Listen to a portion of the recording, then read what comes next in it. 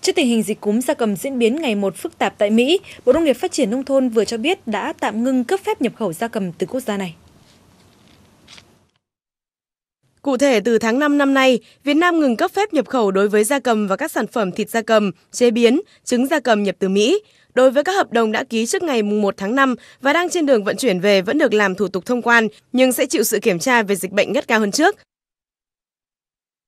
Dịch cúm gia cầm bắt đầu xuất hiện tại Mỹ hồi cuối năm 2014 và lây lan với tốc độ báo động thời gian qua.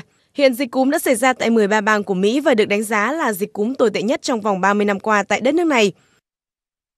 Nhiều quốc gia đã tạm ngưng nhập khẩu gia cầm và sản phẩm thịt gia cầm từ Mỹ thời gian qua như Mexico, Canada, Trung Quốc, Angola, Nga, vân vân.